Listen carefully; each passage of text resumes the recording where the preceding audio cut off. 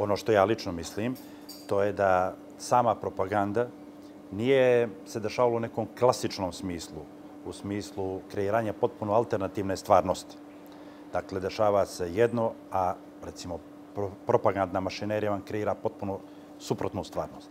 Nego se izvuče jedan segment te stvarnosti, a onda se ona dogradi i određenom dilu izvitoperi, dok se ostali dijelovi stvarnosti ignorišu ili se, ili se izvrću. E, dakle, radilo se o subtilnoj propagandi.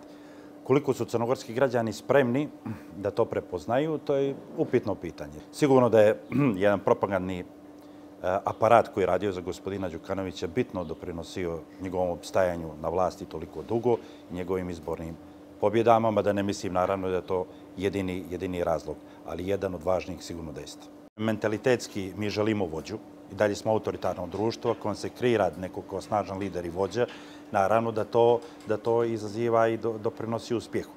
Ili e, uzmete jedan dio stvarnosti koji je utemeljen u određenim činjenicama, da postoje nemali broj aktera koji imaju problem s crnogorskom državnošću i zapadnim putem, a onda predstavite određenu elitu ili određenog pojedinca kao zaštitnika svega toga, bez čega sve to će da propane. Jedan dio ljudi se jednostavno na to, uslovno rečeno ili narodski rečeno, upeca i to, to funkcioniše. Dakle, od onih koji svjesno se prepuštaju manipulacijama i, i dio su propagandnog, eh, propagandne mašinerije iz lukrativnih interesa, do onih eh, kojima su dubinski pogođene, pogođene emocije i drže se u određenom zarobljenom stanju svijesti.